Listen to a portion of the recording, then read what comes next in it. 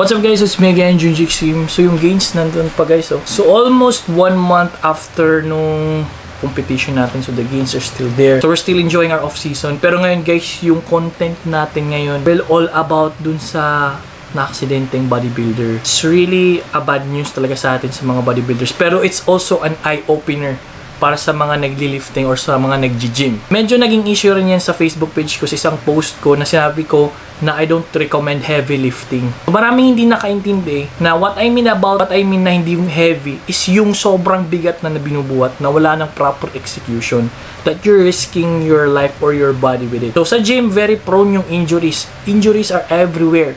Pwede kang ma-injury sa paa, pwede kang ma-injury sa chest, pwede kang ma-injury sa backbone mo or kahit ano nasa sayo na yan kung paano mo dalhin yung katawan mo or paano ka mag-workout. Mag-isip itong eye-opener guys sa mga ego lifters dyan. dyan. Kasi guys ako, to be honest, first years, my first years in lifting, always na nasa isip ko lang gusto ko mabigat yung binubuhat ko para mas maging astig ako tignan sa gym para maging sikat ako sa gym. Pero the thing is, as time passed by, na-realize ko, as time passed by guys, na-realize ko na nasa proper execution talaga yan. Kasi guys, isang reason rin kung bakit yung chest natin is medyo nag-lag, I admit it, medyo nahuli siya compare sa ibang body parts natin.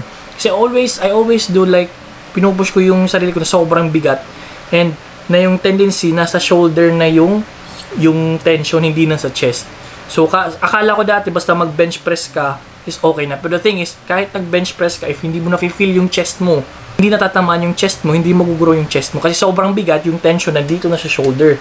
So, always remember, I always tell to my clients na do medium heavy weights lang. So, medium heavy weights, ito yung mga weights na medyo mag-work yung muscle nyo, maka-feel kayo ng ngalay, you will use your strength, pero proper execution, and then meron pa rin tension sa muscle group na gusto nyong tamaan. Yun yung palagi kong sinasabi sa mga clients ko, and yun yung meaning ko talaga dun sa video ko na yun. Remember guys, sa gym, sa buhay, walang redo or walang reverse option na pwede nyong gawin na i-undo yung mga nangyari kasi kung ano yung mangyayari sa inyo ngayon, hindi nyo na pwede ibalik. Hindi na kayo pwede bumalik doon. Kung ano nangyari sa inyo nung karaan, hindi kayo pwede bumalik doon and baguhin. So, that's what happened sa bodybuilder na to. So, rest in peace. Condolence sa mga kapamilya niya, sa mga kaibigan niya. And nakita ko rin guys, sa sa spotter, medyo may mali yung ginawa ng spotter eh. So, best way talaga pag mag-spot, pag, pag mag-squat is yung parang nakahug ka dun hinahag mo yung nag-squat, nasa likod ka, hinahag mo, tapos nag-squat kayong dalawa. So, yun, kasi pag ganito, hindi mo, hindi mo dala yan. Kahit nga siya, whole body yung ginagamit niya, isa yung arms mo lang, hindi mo na yun madadala. So, always remember rin, pag mag-heavy kayo, may spotter kayo na alam talaga yung gagawin niya in case of emergency. So, chest, chest workout, make sure yung kasama nyo mag-spot is kaya nyo buhatin yung weight na binubuhat mo. Pero wala naman si spotter yan. Dapat na sa'yo rin yan make sure mo na kaya mo yung binubuhat mo. Kasi sabi ko nga, walang undo. Pag ma-injury kayo, sira yung ano nyo, masisira yung fitness career nyo. Para sa ating mga gymmers, yung capital nalaga natin is yung katawan natin. Kung masira yung katawan natin, masisira yung career natin. So always remember, always think of that na what are the best ways para maganda yung maganda lang yung takbo ng katawan natin and maganda lang yung performance natin sa gym. Okay, kasi yun yung talaga isang iniiwasan natin eh, yung injury. So, once may injury kayo, yun, sira na yung fitness career nyo. This will serve as an eye-opener sa mga lifters dyan, lalo na sa mga, mga baguhan dyan, na just lift weights na sa tingin nyo nag-work talaga yung muscle nyo. So, we're not really power. Sasabihin, I know, maraming sasabi, si Junji Extreme, ano yung, ang hina. Mahina yan eh. Weak siya magbuhat ng weight sa gym. Pero what I keep saying to them is, I'm a bodybuilder, I'm not a weightlifter. Sometimes, nagtatry ako mag-heavy, pero I make sure na kaya ko yung weight na yun na sobrang bigat. And then may spotter ako na tumutulong sa akin. Diba? Kasi mararamdaman yun yan eh. So, kailangan din yung pagbubuhat nyo ng weights is progressive rin siya. Pero not na yung kagad sobrang bigat. So, ngayon, 100 pounds. Kinabukasan, 200 pounds na kagad. Hindi ganun. Progressive, it's, it's, it's slow progress. Uh, it's slow process. So, 100, next time 105, next time 110 pounds, ganun. Ganun yung progressive overload na sinasabi nila. Hindi yung 100, 200, 500 pounds, ganun. Hindi ganun guys. So pwede kayong injury doon.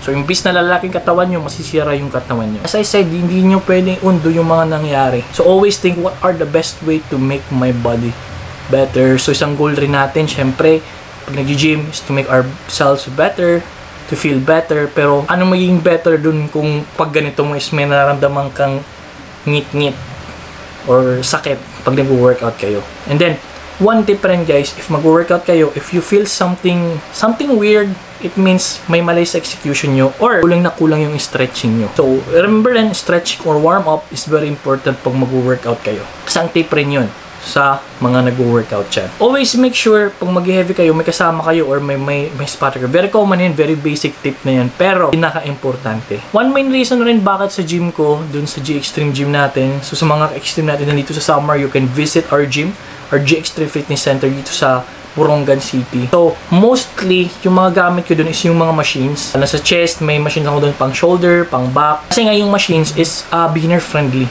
mas safe siya compare sa mga manual na workouts. But I'm not saying na mas better yung machine kaysa sa manual. But the thing is, yung mga customer ko is mostly mga beginners or mga students pa lang. Okay?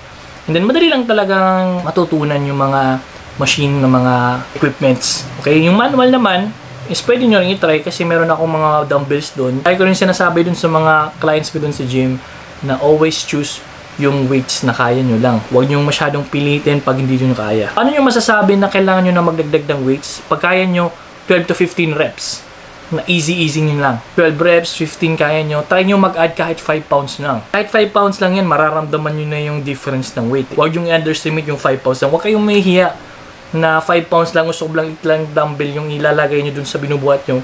It's actually progress. Kahit kaunti lang, progress is still a progress. You just need to keep moving forward.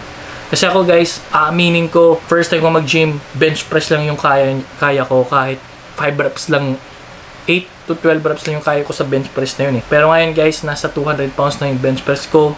And sabihin natin, ilang years ka na? 7 years, tapos 200 pounds yung kinakaya mo. Para sa akin, kasi yun yung the best way para maganda, matamaan talaga yung chest ko. So, so far, nag-improve yung chest natin simula nung medyo nag-focus tayo sa proper execution, hindi sa bigat. Okay? Malaki talaga yung improvements. And then, simula nung nag-vlog talaga ako, syempre, we need to keep our workouts better kasi nga marami nanonood sa atin and then nakakaya naman sa mga viewers natin if hindi proper execution.